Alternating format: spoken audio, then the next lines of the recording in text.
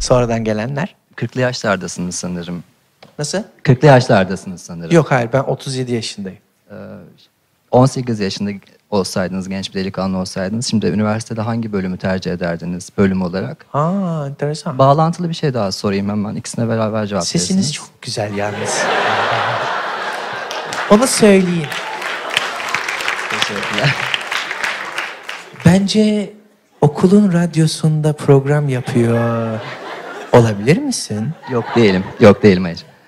Ee, diğer hmm, yani şimdi işinizi elinize almışsınız o belli ama bir anket Tabii tabii hiç elimden düşürmüyorum.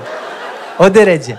yani anketlerde formda falan mesleğiniz kısmına ne yazıyorsunuz onu merak Emin ol bir şey yazmıyorum gerçekten. Bir tek pasaportumda aktör yazıyor. O da hani artık o kadar böyle hani her dilde aktör ya hani aktör. Ha tamam falan diye. Mesleğim e, bir keresinde bir polis çevirmesinde sordu. Eee Cem Bey ne iş yapıyoruz bakalım dedi. Hani böyle suratıma bakmadan. Ben de kafamı iyice uzattım baktı. Ha tamam tamam dedi. O. O öyle tespit etti. Valla üniversite, üniversitede gerçekten okul hayatın, okula çok saygım vardır. Samimi söylüyorum. Yani, yani okula hem sevgim vardır hem de sonsuz saygım vardır. Benim e, hayatımda işte o meslek lisesinde okuma sebebimi e, hatırlamıyorum. Yani çok böyle bir klasik düz liseye gitmeyeyim duygusuyla galiba kendimi oraya attım. Belki Anadolu Lisesi olması, yabancı dili falan. Ortaokulda Almanca olmamın bir travması. Bir an evvel o dilden kurtulma. Çünkü ortaokul, porno filmlerle ilk tanışma, okulda Almancasını falan. O çok yoğun bir... Belki ondan bir kaçış İngilizceyle. Hazırlık okuyarak falan. Bilmiyorum ama okula saygımı yani üniversite hayatında o hani lisedeki tercihim beni şey yaptı. Yani o lisedeki tercihim benim üniversitede ben bu mesleği de yüksek yüksek okulunu okumalıyım diye böyle bir tuhaf bir yere götürmüştü. Yani ondan rahatsızım ama eee, böyle bir yani dili edebiyatı tarzı okullar.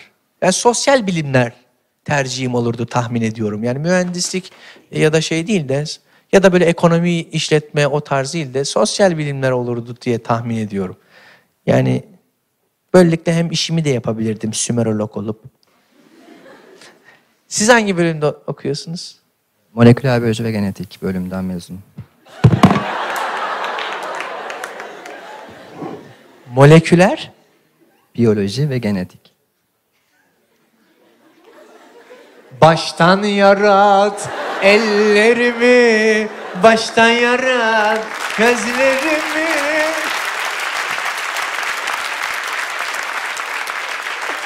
Moleküler biyolojinin şarkısını buldum. Tanrım beni baştan... Ne yapıyorsunuz böyle farenin üzerinde kulak falan? Moleküler biyoloji o değil değil mi? Çalışma alanı evet. Deney hayvanlarından Peki birisi sese fareler. mesela hazırlıktan sonra mı kavuştun yoksa hani okul ilerledikçe yani mesela o ilk birinci sınıftaki heyecanın hocam soru sana bir Üçüncü sene. Bu protonlara iyi bakın.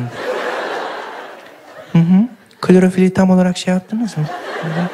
Ver ver ver klorofili ver. Protoplazma nasıl oldu? Çok güzel. Yavrum çayla kek getirdim. Anne. Anneciğim. Lan zor mesleğim varmış ha. Ya konuyu değiştirmek için başka bir şey sorabilir miyim?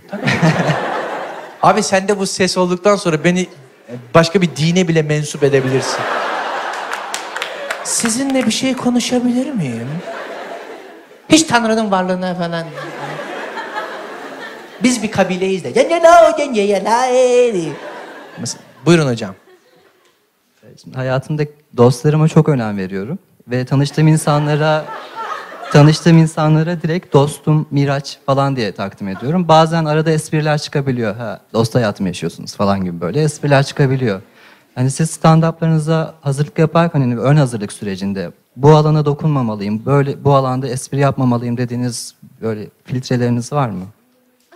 Evet var ama yani kitleyle ilgili tabii. Ya kitleyle ilgili eğer bir şüphem varsa mesela buraya geldiğimde Rahmi Koç'la ilgili şaka yapmayayım.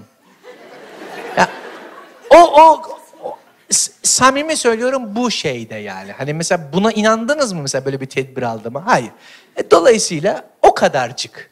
Yani yalnızca bir şüpheyle yaklaşmak diyelim ona. Yani şüpheyle. Yani cümlenizi kurarken ben bunun sonuna normalde evde anlatır gibi anlatır anlatıyor durumunda hani "Ha, ondan sonra da şöyle olmuş koyayım diyeyim mi demeyeyim mi diye iki buçuk saniye düşünebilirim yani.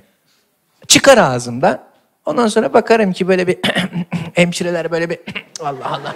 Nereye geldik biz koyayım oldular diyelim ki. E ben de ikinciye söylemem onu yani. Bu kadar ince bir şey yani. Bu kadar. Burada ne var diye de merak ediyorlardır şimdi. Mikrobiyolog tamam.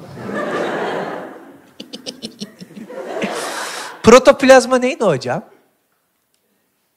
Biliyor musunuz ne olduğunu? Protoplazma e, hücrelerde hücre zarı yani hücre zarı denen hücreyi diğer hücrelerden ayıran bir e, yapı var. Hı. Bu konuda bir şiirin varmış gibi konuşuyorsun. Öyle mi?